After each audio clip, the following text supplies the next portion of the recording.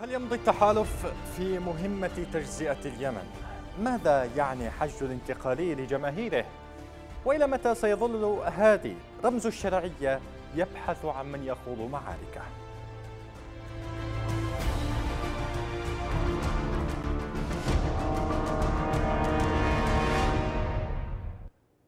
أهلا بكم قيل قديما إذا سقطت البقرة كثرت السكاكين واليمن هذا البلد العظيم ينحر اليوم وتذبح شرعيته كما قال الوزير الميسري من الوريد إلى الوريد. غير أن الشرعية أو بالأصح من يمثلها هو الآخر حمل السكين وأثخن في اليمنيين أو هكذا يبدو. كما كشف لكثيرين الغطاء عن التحالف وباتوا يدركون حجم التواطؤ إن صح التعبير السعودي الإماراتي لتقسيم اليمن. وهنا نتساءل لماذا لا تزال الشرعية تنتظر أن يخوض الآخرون معاركها؟ تسعى الرياض لصناعة اتفاق سلم وشراكة جديد يقول مراقبون ومن أجل ذلك تصل اليوم لجنة التهدئة وإذا كانت ميليشيات الحوثي قد واجهت قرارا صادرا عن مجلس الأمن ورفضت الانصياع لكل الدعوات الدولية لتسليم السلاح والانسحاب من المدن فهل ينصاع بن بريك لقرارات السعودية وينسحب من مؤسسات الدولة في العاصمة المؤقتة وقد يكون السؤال الأصح هنا ما هو الثمن؟ تمتلئ البلاد بكل شيء إلا من سلطتها الشرعية استعرض الإنقلابيون الجدد في عدن ورقة الجماهير كما فعل من سبقهم في صنعاء وكأن ذلك يعفيهم من جريمة تفتيت البلد والمضي وراء أطماع الخارج الحشد يأتي في إطار محاولة الانتقال تثبيت أقدامه على الأرض وتكريس حضوره كواقع لم يعد من السهل إزاحته بالإضافة لتحسين شروطه في أي مفاوضات قادمة تماما كما فعلت ميليشيا الحوثي من قبل. خلا الحشد من قيادة الانتقال وغابت القيادات التاريخية للحراك الجنوبي في تأكيد واضح أن من يتصدرون المشهد الجنوبي اليوم ليسوا سوى أدوات أبو ظبي متشددون دينيون وبقايا النظام السابق ومن تحلق حولهم ممن جمعتهم المشاريع القاتلة. الشعبي المفوض الشعبي الجنوبي. يجري العمل من جميع الأطراف على إضفاء المزيد من الشرعية على سلوك الانتقالية المدعوم إماراتيا ليحتل موقعه في المشهد القائم وينتزع جزءا من السلطة التي تناهشتها كل القوى. وعلى الرغم من أن المجتمع الدولي لا يزال يرى الانتقالي مجرد ميليشيا إلا أن الباسط على الأرض يظل هو صاحب القوة وإن كانت الشرعية مع هادي أسير الرياض. تفيد تقارير إخبارية بوصول لجنة سعودية إماراتية إلى عدن للإشراف على انسحاب الميليشيات من المؤسسات الحكومية والعسكرية في المدينة فيما يبدو عملها فارغا من أي قيمة. في ظل ما يبدو أنه دور سعودي لتشتيت الانتباه وتأكيد ما هو قائم.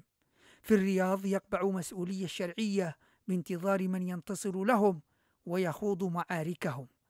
ما تعرضت له عدن الأسبوع الماضي يؤكد أن البلد فقد معظم خياراته وأن التحالف ماض في مهمة تجزئة اليمن وفيما لا يزال البعض يراهن على تغيير موقف السعودية فإن المؤشرات تؤكد أن ذاك الرهان بلا قيمة وأن موقف الرياض قد قيل سلفا حينما كان القتال محتدما في شوارع العاصمة المؤقتة عدن. أجدد الترحيب بكم مشاهدينا الكرام إلى هذه الحلقة من المساء اليمني. كما أرحب بمن ينضم لي هنا في الاستوديو الكاتب والباحث السيد نبيل البكيري. أهلا بك أستاذ نبيل. إذا اليوم خرجت حشود في عدن لتأييد المجلس الانتقالي وكما يبدو مباركة ما فعله كيف تتابع ذلك؟ بطبيعة الحال الحكم على مثل هذه الحشود حالة غير منطقية في الحديث عن وجود حشود بهذا الشكل نحن نعرف أنه إمكانية التحشيد في أي منطقة منفلتة السلاح يمكن أن تحشد فيها ما تريد لأنك أنت بالأخير هذه جماهير غير مختارة وغير حرة في اختيار ما تريد قوله. بالتالي ممكن أنت بمخافة القمع مخافة الإرهاب مخافة لقمة العيش يضطر الناس إلى أن يتجمعوا حتى عكس إراداتهم ورغباتهم وتطلعاتهم. بالتالي الحكم على مثل هذه التحشيدات أنا باعتقادي لا يقيم في أوضاع غير سوية لا يقيم أو لا يكون معيار حقيقي للتعبير عن حالة ال يعني هذه ليست صناديق اختراع. هذه ليست صناديق اختراع. والفضل والأهم من ذلك اليوم حينما نتحدث عن التحشيد. يعني المجلس الانتقالي قد حسم المعركة في عدن. يعني إيش يعني ما الفائدة من أن تجمع الناس بعد أن بعد أن كسرت ناموس الدولة وأسقطت دولة في هذه المدينة وأسقطت المدينة؟ ما الذي فهمته أنت من هذه الخطوة؟ أنا باعتقادي مسألة الحشود أنا باعتقادي لا تدخل في إطار تقييم حقيقة ما جرى في عدن. يعني هل هذه هي هي آه، أبناء عدن هم الذين خرجوا يباركوا هذا الفعل؟ أنا باعتقادي آه، آه، جازما لم يكونوا هؤلاء أبناء عدن. هذه مجاميع أتت ونعرف جميعا أنها أتت من كل المحافظات وخاصة المحافظات التي كان لها مصلحة في في هذه الأحداث العسكرية والجميع يعرف من هذه المناطق يعني جيدا يعني آه، والتي كانت يعني كسبها لمعركة عدن هو آه، يعني نوع من آه، يعني الاستحواذ التاريخي للمنطقة الغلبة الموجود في هذه المنطقة. نحن نعرف الصراع التاريخي في عدن ليس بخافي على أحد يعني. ما حصل في عدن في 10 أغسطس هو استمرار لمسلسلة الصراعات التالية من 67 إلى 79 إلى 86 إلى 94 وصولا إلى هذه المرحلة وبالتالي يعني هل هي هل هل, هل الأمر مثلا رسائل خارجية لدول يعني في سياق أن هاني بن بريك كانت له تصريحات ضد مسألة التهدئة من قبل التحالف ومسألة الانسحابات وما شابه، هل يمكن أن تكون رسائل ما يعني؟ حتى ولو افترضنا أن هناك رسائل لأن مسألة ما حدث في عدن أنا باعتقادي يصعب إصلاحه. آه، يعني لكي نكون دقيقين في توصيف ما يجري في عدن ما جرى في عدن هو انقلاب والانقلاب لا يمكن أن يتم تسوية سياسية الانقلاب لا يتم إلا ب ب ب بوجود فعل مضاد له وأكبر منه في القوة والغلبة. يعني أنت تقصد لا يمكن أن ترفع السلاح أمام الدولة وتتوقع أن يكون هناك نوع من الحل السياسي، يجب أن ترفض الدولة ذلك أو الحكومة ذلك. الحكومة من حقها أن ترفض وإن كانت هي الطرف الأضعف في هذه المرحلة. م. آه، وهي رافضة حتى الآن يعني بحسب التصريحات التي نسمعها. لكن أيضا في تصريحات مقابلة أنه المجلس الانتقالي رفض الانسحاب من هذه المؤسسات وكان آخر تصريح تقريبا قبل ساعات من الآن على لسان متحدثهم الأخ نزار هيثم قال إنه لا يمكن الحديث عن الانسحابات. أيضا حتى نائب رئيس المجلس تحدث قبل في في أكثر من مرة إنه آه، لا حديث عن الانسحابات. يعني نحن أمام معادلة جديدة نشأت في عدن. هي هذه محاوله يعني هل يحاولون من هذه التصريحات رفع سقف المطالب؟ ما الذي يريدون؟ يعني طبعا الانتقال الآن ما الذي يريده؟ هنا السؤال الجوهري ماذا يريد الانتقالي إذا كان الانتقالي مش قادر يخرج يقول للناس نحن دولة.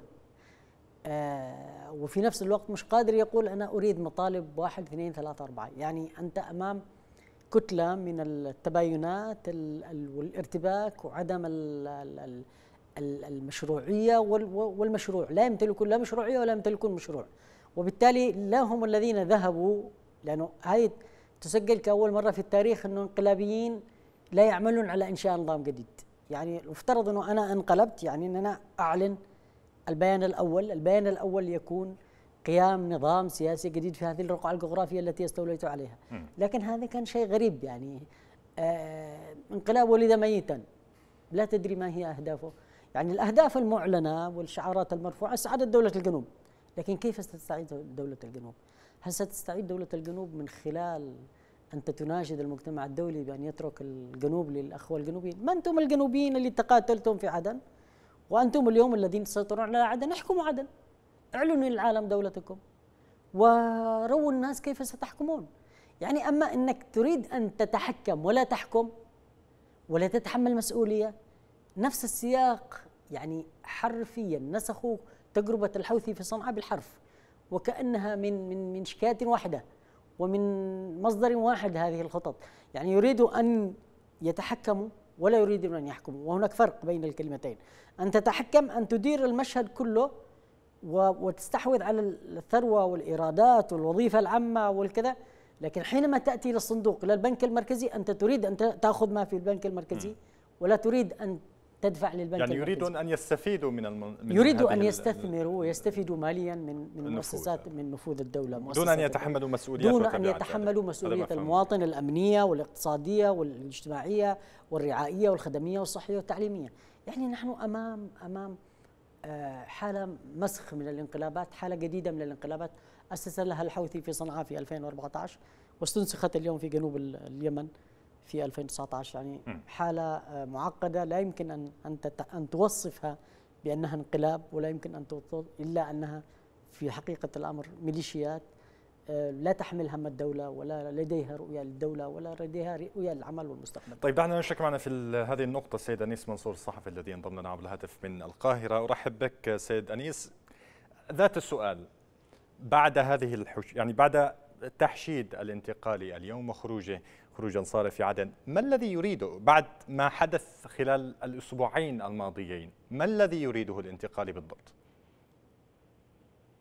طبعا أخي العزيز أنا سمعت أيضا جزء مما قاله ضيفك لا أدري من هو ولكن كان كلاما منطقيا المجلس الانتقالي لا تد يعني أول شيء لا تدري ما هي أهدافه لا تدري ماذا يريد شعاراته متناقضة تصريحاته متناقضة وهم مع الشرعية لكن ضد الإصلاح وهم مع الرئيس ولكن مش مش راضين باولويه الحماية الرئاسية. الحماية الرئاسية عبارة عن ألوية تابعه لعناصر تنظيم القاعده وداعش وبعد ذلك هذا انضمت ألوية الحماية الرئاسية اليهم بمعنى أن داعش والقاعده أيضا انضموا اليهم. آه يعني حالة التخبط تعطي لنا ملخص، هذا الملخص ممكن أنا أعطيه للمشاهدين والمستمعين على أن المجلس الانتقالي عبارة عن أداة مرتزقه يحركها ضابط من ضباط محمد بن زايد. وبالتالي هؤلاء ليس لديهم رؤية وليس لديهم أفق وليس لديهم آه حتى أخلاق يعني سقطت أخلاقهم في مداهمه البيوت واقتحامها. ونهب آه كل شيء يعني وهناك موثقات موثق كل شيء. هذه هي المجلس الانتقالي هم. عباره عن حفنه من مجموعة من المرتزقه الذين ممكن أنا أقول لك لو أن الإمارات الآن كانت تحلم عن الوحدة اليمنية وعزيزة دور الوحدة اليمنية سيخرج هاني بن بريك ليحشد الأدلة من الشريعة ومن السنة ومن ومن العاقل ومن المنطق على أن الوحدة فريضة شرعية وضرورة بشرية. هذه هي نتيجة الاستعباد ونتيجة الارتباط ونتيجة ما حصل، هؤلاء كانوا في الدولة وفشلوا في الدولة.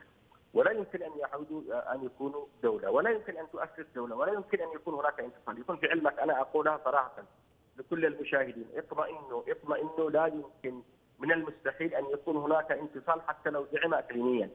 لكن لكن هذا يعني هذا في سياق الحديث عن المجلس الانتقالي، لكن عندما نأتي لننظر إلى المشهد هناك لجنة سعودية اليوم في في عدن وهناك حديث تنقله وسائل الاعلام السعوديه عن تسليم معاشيق لألوية الحماية الرئاسية. على الأقل هذا ما تروجه هي. هل من الممكن آه، أن يحدث يعني ما الذي يريد ما الذي تريده السعودية الآن؟ ما الذي تريد عمله السعودية الآن في في عدن؟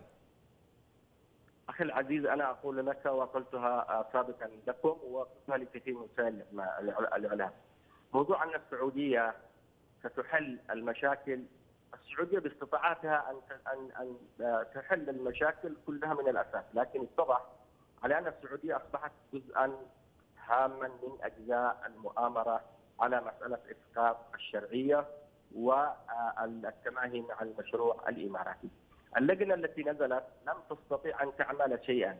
الحديث عن أن استعاده معسكرات غير صحيحة ألوية الحماية الرئاسية في لواء في منطقة المعاشر موجود قوه موجودة أصلا كانت من قبل حتى الذين آه، دخلوا على المعاشر دخلوا إلى جزء من المعاشر ولم يدخلوا إلى القصر وإلى المكاتب إنما دخلوا إلى منطقة مكتبه آه، قاعة حفاظ والمسجد الذي حواليه والبوابة آه، الأولى والبوابة الثانية هناك أربع بوابات أو خمس بوابات لم يدخلوها أيضا. اللي حاصل يا أخي إنه بالنسبة للسعودية أنا أقول لك هل تعلم إنه من ضمن الكلام الذي طرح على أنه تتشكل لجنة عسكرية، اللجنة العسكرية يمثلها بالشرعية قائد المنطقة العسكرية الرابعة وهو الذي أعلن انضمامه وقام بزياره عيدروس الزبيدي ليضرب له التحية.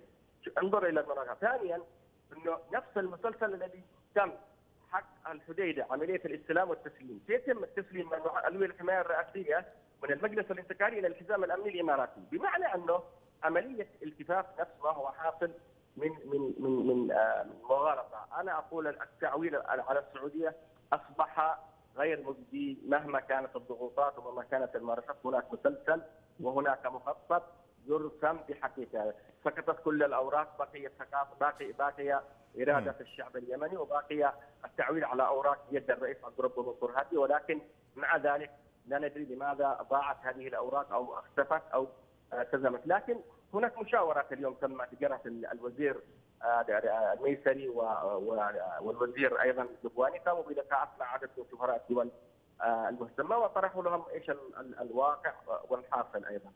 آه، اتضحوا في هذه المنطقة أسس مشروع الانتقال لابد أن يكون مبني على اتفاق دولي.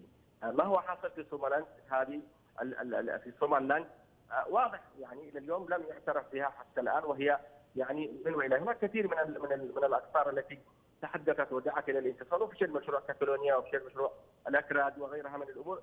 فبالتالي يا أخي هؤلاء أداة. اليوم هؤلاء أداة لأطماع إماراتية، الإمارات طيب. تريد أن تبسط يدها وتخطط لتقسيم الجنوب إلى مخططات. وبالتالي هي تريد أن تنفذ برنامجها الاستعماري ويكون هؤلاء المجلس الانتقالي وغيره هو عبارة عن أدوات باختصار. لا لا يمكن التعويل على التحالف. ما هو بيان التحالف كان شديد اللهجه أين ذهب بيان التحالف الذي قال سيضرب ويجلد ويعمل ولا يعمل شيء. دعنا في هذه نقطة نقطة التحالف. آه، ما رأيك سيد آه، نبيل؟ فيما يتعلق بلجنة التهدئة السعودية التي يعني أيضا حتى آه، وسائل الاعلام السعوديه روجت بأن أدوية الحماية الرئاسية استلمت معاشيق من المسلحيه الانتقالي. ما الذي يعني تدبره أو ما الذي تريده السعودية وأيضا التحالف من وراء؟ طبعا قطعا قبل الحديث عن ما جرى من تسليم أو استلام أو لم يتم أنا باعتقادي إنه المبادرة السعودية في حقيقة الأمر هي كانت عبارة عن غطاء سياسي لما حدث في عدن في عدن حصلت معركة انتصر فيها طرف مدعوم اماراتيا المبادرة السعودية سياسيا أتت لتسويه ما حدث أو لإضفاء طابع سياسي آه، بحت على هذا الملف. بمعنى آخر إنه هذه الحرب التي تمت وهذه المعركة التي تمت وخسر فيها اليمن وخسر فيها عموما أرادت السعودية أن أن أن أن تخرجها بطريقة سياسية عن طريق اجتماع الأطراف المتصارعة وبالتالي آه، حل الإشكالية يعني استلام وتسليم وانسحاب القصة ليست انسحاب واستلام وتسليم الآن. القصة أنه اكتسرت الشرعية أو ذبحت وعقرت الشرعية في عدن. وما كان يحمي الشرعية في عدن من المعسكرات الحماية الرئاسية وما في شابهها آه، أصبحت اليوم كلها مؤيدة أو آه، تم يعني آه، نهبها وجزء منها انضم إلى المجلس الانتقالي. أنت عن من تتحدث الآن من سيستلم من؟ وما مصير الشرعية بعد ذلك الآن؟ يعني اليوم إن السعودية تحاول من خلال هذا الملف أو من خلال هذه الحركة هو إضفاء شرعية المجلس شرعية السلطة الشرعية على الانقلاب الحاصل. بمعنى آخر أنه سيظل هادي في الواجهة وسيستمر الانقلاب كما هو بأدواته التي آه، الخشنة التي استخدمها. وستظل السلطة الشرعية تصرف الرواتب وتتحمل المسؤوليات أمام الأمنية أمام المجتمع الدولي والقانونية والتشريعية والدستورية. بينما الانقلابيون لن يتحملوا أي مسؤولية سيظلون يحكمون يتحكمون ولا يحكمون آه، ويستثمرون وبكل امتيازاتهم التي آه، نهبوها من مقدرات الدولة والتي لا زالت تصرف لهم دون أي مسؤولية حقيقية تجاه التزامات الناس والمواطنين. وبالتالي نحن أمام استمرار نفس المهزلة الحاصلة في صنعاء وإن كان في صنعاء لم يتم شرعنتها بالطريقة التي رأينا إلا من خلال استعجال الحوثي لقطف الثمار في بعد توقيع اتفاق السلم المشاركه، لكن في عدن أنا باعتقادي لو تم الذهاب إلى جدة وتم الاتفاق على نقاط محددة أنا باعتقادي سيكون شرعنا لمرحلة الانفصال مستقبلا. طيب أمام كل ذلك وأمام ما طرحته سيد أنيس منصور يعني إذا كان هادي غير قادر على الحديث أو إذا كان متواطئا وإن كان لكن النخبة السياسية الأحزاب ال ال ال التي الداعمة للشرعية وداعمة لمشروع اليمن الاتحادي إلى آخره. لماذا هذا الصمت الآن؟ ما الذي يفترض أن تقوله في هذه اللحظات التاريخية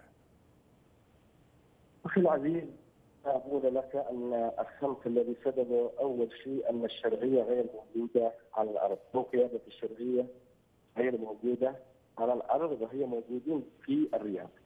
وجودهم في الرياض جعل المتحكم فيهم مجموعة من الضباط والقيادات العسكرية في الاستخبارات أو في المرتبطين بالديوان الملكي هم الذين يتحكمون في مسار التواصل والاتصال والضغوطات التي تمارس على رئاسة الجمهورية وعلى قيادة الدولة وعلى قياده الشرعيه.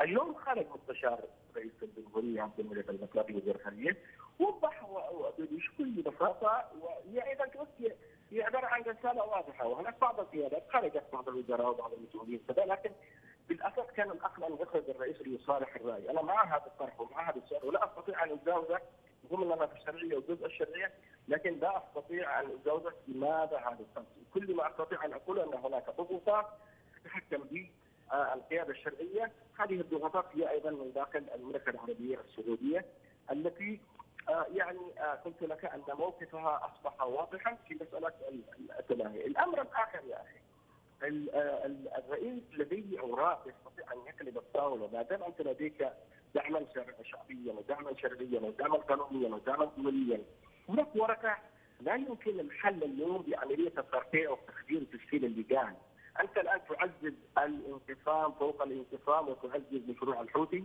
وتعزز مشروع الانفصال ولو معنويا ولو حتى في الجانب الشكلي لكن لماذا لا تخرج الأمم المتحدة وتطالب مندوب الأمم المتحدة يطالب بفرض أو بإخراج الإمارات وتكميل مسؤوليتها عما كانت هي خلال الفترة الماضيه بما فيها المسؤوليه القانونية من انتهاكات لا يوجد أصلا الداعي لبقاء الإمارات الآن لأنه أي يوم أقول لك سنظل أنا وأنت كتتصل بي سنظل العام القادم ظلت الامارات سنظل ستظل الأحداث والمآسي والدماء عناوين رئيسية في كل القنوات ثلاث بالعيش سنظل نحن وأنت واحد يحلل وواحد يسأل كالعادة. لكن الحل الأساسي هو كما يقال فقط لا اخلاقيه هذا هو المنطق يعني عندما آه، يعني آه، جزء من الجسم ينهار ويخيف أو أو أو يعني يموت خلاص الأصل إنه ما في داعي لأن ينتشر الداء ويتوسع الوضع بالاسوء خاصه الان دخلت في فترة يعني آه، واضح يعني اليوم طائرة تأخذ أكثر من 40 شابا. هناك مخطط الان تحرك في المخرج اتجاه تعز هناك تحرك أيضا موجود في ال ال ال ال في مارس. يعني اليوم الموضوع هناك تهديد واضح من قبلهم أنهم سيقوموا بتحرير سيئون بيحان وبعض المناطق يعني المسألة ليست فقط تقتصر على منطقة واحدة أو على محدد واحد. لديهم مشروع وهذا المشروع لابد أن ينفذ لا يهمهم الحوثي ولا يوجد معركة بينه وبين الحوثي بل هم من ساعد الحوثي على احتلال صنعاء وهم من ساعد وقام بإنعاش الصمت المخيف والصمت المريب. هذا هو السؤال الذي لا نستطيع أن نجاوبه ويبحث عن تحليل أكثر وأدق مع بعض الإشارات التي قلت لك بها سابقا. شكرا لك سيد انيس منصور الصحفي. كنت معنا عبر الهاتف من القاهرة. لماذا يعني هذا الموقف؟ يعني كيف تقيم موقف قيادات الشرعية الأحزاب السياسية المؤيدة لها مما يحدث في موقف مخزي. أقل ما يقال عنه هنا موقف مخزي وموقف مشين لا يعبر عن عن عن مناضل سياسي لو يعبر عن مسؤول أمام القانون أمام الدستور لو يعبر عن كيانية الذات اليمنية التي عهدناها في اليمنيين. أنا باعتقادي هذه النسخه من من النخبة الحاكمة نسخة معطوبة مضروبة بلا قيم بلا أخلاق بلا ضمير. ما يحصل آه، في اليمن انقلاب يدمر وينسف ما من جهود آه، أربع سنوات من الحرب والنضال اليمنيين. تأتي تنسفه بلحظة واحدة دون أن تقول لا. وأنت تعرف أن مصدر هذا الخلل أين هو بالضبط. يعني مثلا الآن أنا كنت أتصفح رسالة لوزارة الخارجية قدمت لي الأمم المتحدة عن طريق مندوب اليمن في الأمم المتحدة الدكتور عبد الله السعدي. آه، فاستغربت أنا يعني لغة الخطاب التي قدمت الامم المتحدة آه، تحمل المجلس الانتقالي وكان المجلس الانتقالي هذا دولة عظمى هو الذي ارتكب كل ما عمل وحصل في عدن. المجلس الانتقالي عبارة عن ميليشيات إماراتية مدعومة ومسلحة إماراتيا سموا الأشياء بمسمياتها. هذا الانقلاب قامت به وقادته الإمارات العربية المتحدة. آه فلماذا أنت تبحث عن الأداة ولا تبحث عن صاحب طيب الفعل؟ نائب وزير الخارجية قال ذلك. طبعا هناك آه. انقلاب أيدته الإمارات. لكن آه. في المقابل الرسائل الرسمية التي ترفع إلى مجلس الأمن تخلو من هذه اللهجة. كيف تحلل؟ الإشكالية الآن أنه هذا الموقف المريب الذي وصفه الأستاذ أحمد المهندس أحمد الميسري وزير الداخلية السابق وزير الداخلية عفوا آه هو وضع النقط على الحروف. أنه في أنا لا أستطيع أن أسمي هذا أنه صمت أنا أستطيع أن أقول أنها خيانة عظمى. هكذا باختصار. ما حدث خيانة عظمى؟ معركة دارت على مدى أربعة أيام دون أن تقوم الرئاسة ولا مجلس الوزراء ولا وزارة الدفاع ولا أن يقولوا شيء ما يحدث. يعني نحن أمام حالة يعني خيانة مكتملة الأركان. يا سيدي أنت مسؤول أمام الناس. قل للناس ماذا يجري. أما أن تصمت تخيل الآن سقطت العاصمة المؤقتة وتشرد الناس وقتلوا وحشروا في زوايا ضيقة ونهبت ممتلكات الناس واشتغال مناطق القدر يتم في عدن. وحتى الآن الرئاسة لم تصدر بيان لم تقول ماذا حدث لم توصف المشكلة كما حدثت. يعني الناس الآن مش مطلوب من الحكومة الشرعية أن تروح تقاتل عدن وتستعيد العاصمة. مطلوب الناس تنتظر تقول ماذا ستقول الرئاسة؟ يعني ماذا ستكاشفون الناس؟ الناس تطلب منكم مقابل أن تكونوا زعماء ورؤساء على رؤوسهم أن تقولوا لهم أنه حدث كذا وكذا. يعني تريد رئيس الجمهورية يتحول إلى صحفي في أقصى حد يوصف لنا ما الذي حدث. لا يريد منه أن يفعل شيء. يعني نحن وصلنا إلى مرحلة سقوط مريع لأن هناك من يتحدث في في لحظة من اللحظات أنه يعني هذا الدور ليس دور الرئيس الحديث الآن دوره دور الفعل الآن. ال ال وأنه الفعل الآن يذهب إلى الفعل الفعل يأتي من توصيف دقيق ما جرى. يعني نحن تحملنا أكبر كارثة منذ سقوط صنعاء. كان جزء كبير جدا من الكارثة أنه استمر السقوط قرابة العام أو قرابة آه، سبعة ثمانية أشهر وسبعة أشهر من اجتياح العاصمة ولم يكن هناك توصيف حقيقي. بعد أن دخلوا إلى غرفة الرئيس وإلى بيت الرئيس وأهانوه وسقطوا القصر الجمهوري وخرج الرئيس من صنعاء ذهب الحديث إلى أنه تم انقلاب عليه. ما حدث في صنعاء اليوم تماما. يعني لحد الآن ما فيش توصيف الرئاسة أنه انقلاب. يعني نحن أمام إشكالية توصيف في الأساس ما حدث في عدن تقصد ما حدث في عدن يعني ماذا ستتوقع أنت؟ إذا كان يغيب عندك التوصيف الحقيقي لما يجري فكيف سيكون فعلك؟ الأفعال هي تقوم هي هي تعبير عن عن توصيف دقيق المشكلة. نحن ما فيش توصيف دقيق المشكلة الآن. تخيل حكومة بكل أعضائها من رئيس الوزراء إلى كل أعضاء الوزراء الرئاسة نيابه الرئاسة نائب الرئيس الأعضاء البرلمان أعضاء البرلمان أعضاء الشورى كلهم كأنهم في مقبرة موتى لم يجرؤ أحدا يقول ماذا يجري هؤلاء بالله عليك هذا هذه نخبة حاكمة إيش يحكموا هذولا؟ إيش بقوا. إيش بقوا لل... للموتى؟ هذا الموت طيب الا يقترح ذلك أن أن الشرعية أن هادي آه، ما دام آه، لم تكن لهجته في في خطاب أو خطاب آه، السعدي إلى مجلس الأمن لم يكن بذاك اللهجة المحددة أو الواصفة للأشياء بمسمياتها. ألا يعني ذلك أن هذا موقفه فعلا؟ يعني ليست هناك مشكلة مع هذه مع ما حدث على الأرض في عدن. السعدي هو مجرد موظف في وزارة الخارجية وموظف يتلقى أوامره من رئاسة الجمهورية وزارة الخارجية. ألا يعني و... ذلك؟ أنه موافق. يعني هذه موافق على ما حدث في يا. يا, يا أخي ما يحدث وما نراه من ردة فعل من تجاه الحكومة أو من عدم ردة فعل من تجاه الحكومة والرئاسة وما إلى ذلك يشير. أن هناك تواطؤ أن هناك خذلان أن هناك مشاركة في هذه المؤامرة. بمعنى آخر أن هناك خيانة وطنية مكتملة الأركان. بس من سيوصف من سيوصف هذه بالخيانة الوطنية؟ هذا لن يوصفها نبيل البكيري. لأنه نبيل البكيري مجرد كاتب وباحث. لن يزيد في الأمر شيء.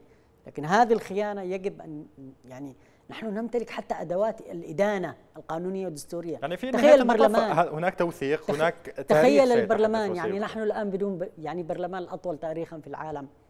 البرلمان ال ال ال الذي جمع لنا كومة من من من, عاهات اليمن مش قادرين يخرج واحد يقول ما الذي يجري يعني. وعلى كل حال سيكون معنا بعد قليل أحد أعضاء مجلس النواب معنا في الحديث آه، آه، يعني عن عن ما يحدث. لكن في في هذا السياق أنا أقصد آه، أستاذ نبيل. عندما نتحدث عن الأوضاع عندما ينتظر الناس من هادي يعني هناك دائما قول على أن هادي عندما ينتظر الناس منه الكلام لا لا يتحدث لكنه يأتي بعد ذلك أو يتحدث أو يصدر قرارات بعد ذلك، هل يمكن أن نتوقع شيئا ما في المستقبل القريب؟ يفترض نحن نتوقع شيئا ما. هذا هذا الواجب القيام به من قبل هذه السلطات. أنت لماذا تحكم؟ لماذا الناس معترف لك انك زعيم أنك رئيس عليها؟ لأنه منتظر منك أفعال ومنتظر منك أقوال لتقول للناس ماذا يجري. على الأقل في مثل هذه الأزمات يعني. وإن كانت الأقوال لا تجدي إلا الناس تطلب أفعال وأعمال وممارسات و وإنجازات. لكن في هذا الوضع السيء الذي آه، منذ خمس سنوات الحكومة في المنفى حكومه عاجزة عن القول يا رجل. رئاسه عاجزة عن القول. ماذا تنتظر؟ ماذا تنتظر؟ يعني نحن في كارثة اليوم. سياسات خمس سنوات من المالة والمواطة والتواطؤ والفساد والعجز.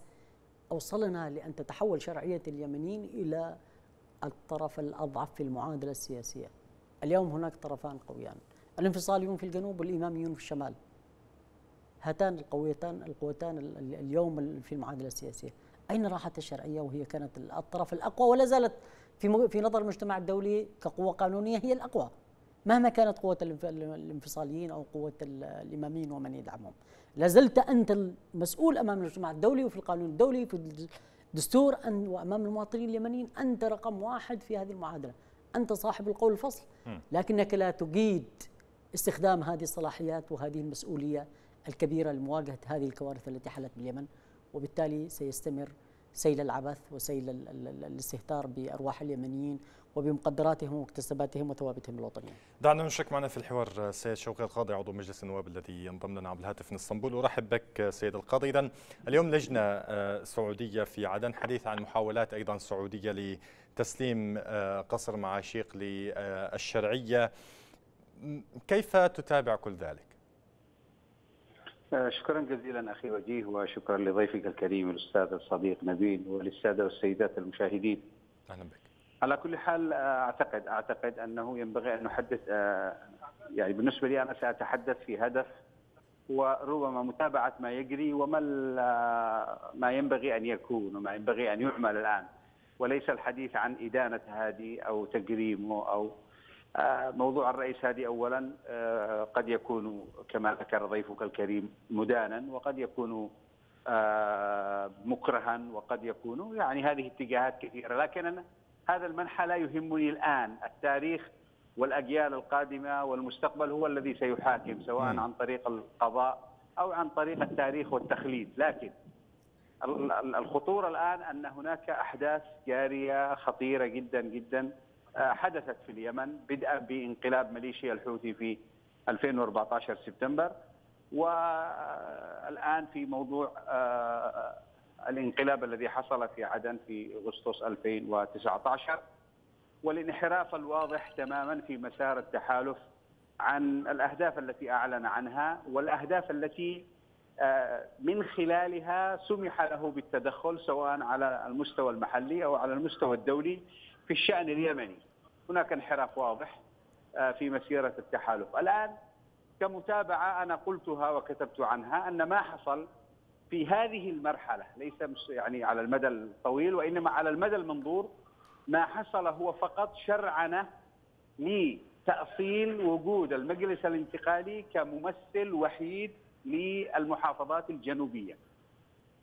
المحافظات الجنوبية كان لها أكثر من ممثل كانت هناك قوى متعددة آه، كل يدعي تمثيل المحافظات الجنوبية. واضح تماما أن آه، بعض تلك الممثلات أو بعض أولئك الممثلين للجنوب لم يروقوا لمكونات التحالف سواء للمملكة العربية السعودية أو الإمارات العربية المتحدة بالتحديد. وبالتالي أريد أن آه، تعاد ترتيب المحافظات الجنوبية ويعاد ترتيب من يمثلها. فعملت هذه المسرحية التي كانت واضحة أنها مسرحية يعني مسرحية واضحة تماما. بدأت ب آه، يعني خطوات عسكرية قوبلت من قبل المخلصين والأحرار والشباب بالمواجهه والرفض وانتصرت الشرعية أو انتصر هؤلاء الأبطال في مؤسسات الشرعية. ولكن جاءت التعليمات وجاءت الأوامر وقد أعلن عن ذلك. يعني ما عادت تحليلا وإنما آه، معلومات بأنه جاءت الأوامر بتسليم للمجلس الانتقالي وبالتالي آه، حقق هدف هذه المرحلة وهو شرعنة المجلس الانتقالي كممثل وحيد للمحافظات الجنوبية الآن اليوم أعلن عن أن هناك لجنة من السعودية إماراتية، طبعا هنا معلومة مهمة. اللجنة سعودية إماراتية وليس سعودية فقط. آه، لتسليم آه، أو إعادة بعض المؤسسات إلى آه، يعني للشرعية، وهناك من يقول أنها إعادة المؤسسات من قبل المجلس الانتقالي للأحزمة الأمنية. يعني برضو نريد أن نتأكد أيضا هل هذه المؤسسات ستعاد للألوية الرئاسية وللمؤسسات الشرعية للحكومة للوزارات للمؤسسات القائمة أم ستسلم للأحزمة الأمنية وبالتالي كأننا أمام مشهد الحديدة عندما سلم ميناء الحديدة من ميليشيا الحوثي التي تلبس قمصان وزنان وأحزمة وخناجر إلى ميليشيا الحوثي التي تلبس بدات عسكرية وتمثل تمثيل عسكري. يعني برضو هذا مشهد. الذي يهمني هنا الآن أخي وجيه وأستاذ آه، نبيل الذي يهمنا الآن أن هذا أن هذا قد تم قد حصل. الآن من ما, ما الذي يجب أن يكون؟ يعني لا زال للأسف لا زالت القوى الوطنية لا زالت مؤسسات الشرعية لا زالت لا زالت تائهة لا تدري إلى الآن لم تفق. يعني تخيل ذواكر مثقوبة جدا نفس المبرر ونفس السيناريو الذي سلمت فيه عمران لميليشيا الحوثي سلمت مؤسسات الدولة في عدن لميليشيا المجلس الانتقالي بنفس الطريقة. المؤلم المؤلم هنا الذي فعلا أنا إلى الآن محتاب القو... أن كثير من أفراد ومنتمي الأحزاب والقوى السياسية بنفس المبررات ونفس النغمة وكأنهم لم يعد درس مطلقا لا زال الهاجس ولا زالت الفوبيا هي الإصلاح لا زالت الفوبيا الدواعش لا زالت الفوبيا هي يعني باختصار لا زلنا أمام شيء مريب يعني ما الذي يحصل بالضبط؟ هل المشكلة في الإمارات؟ هل المشكلة في السعودية؟ هل المشكلة في المكونات السياسية؟ أين المشكلة بالضبط؟ وبالتالي ينبغي هنا أن يعني أن نركز على مناقشة أين المشكلة الآن التي جعلت اليمنيين لم يستفيدوا من درس عمران. طيب في هذا السياق ما هي استنتاجاتك؟ عن اذنك والسؤال الأخطر أخشى أن يتكرر سيناريو ثالث ونحن لا زلنا في نفس هذه الدوران تفضل ما هي استنتاجاتك بهذا السياق سيد القاضي؟ يعني الاستنتاج الأول كما ذكرت لك هو تأصيل وشرعنة المجلس الانتقالي هذا رقم واحد. رقم اثنين آه، إخلاء مؤسسات الشرعية. إضعاف وليس إضعاف المكونات الوطنية إضعاف الأحرار إضعاف الأشخاص في مؤسسات الشرعية. يعني يبدو أن هناك إملاءات ستكون ليس فقط تمريرها عن طريق ميليشيا الحوثي ولا عن طريق آه، المجلس الانتقالي ولكن يبدو أن هناك أيضا إجراءات سيتم شرعنتها والموافقة عليها من قبل مؤسسات الشرعية. وبالتالي انظر أنت الآن اتهمت بعض مكونات الشرعية بالإرهاب وكما يسمى بالجماعات الإسلامية أو الجماعات الأصولية أو ثورات الربيع العربي.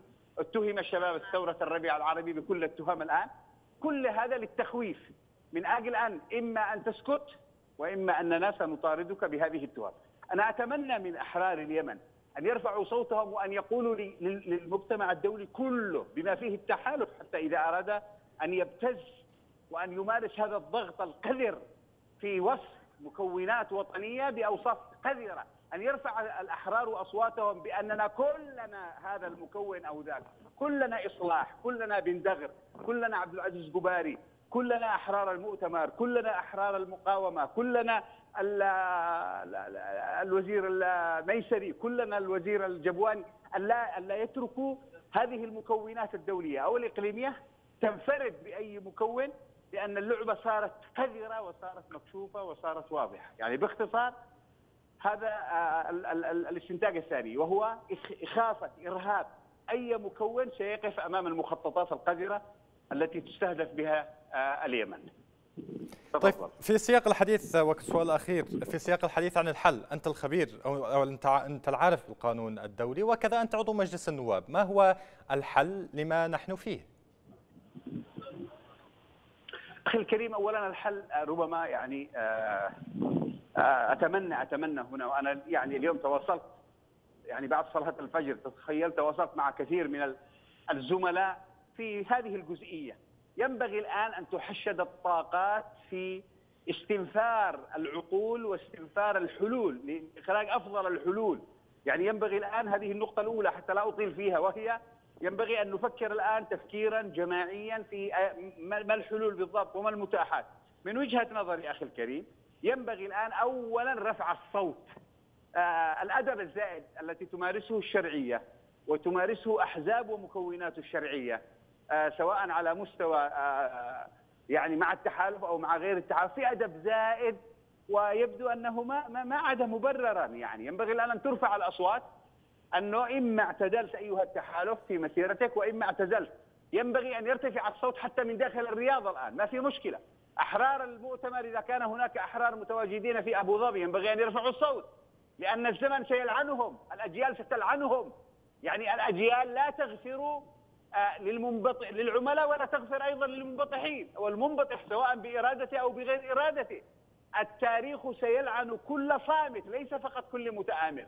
المتآمرون ملعونون آه، حيثما ثقفوا لكن حتى الصامتين وحتى الجبناء وحتى هؤلاء إلى متى؟ هذه النقطة المهمة الآن.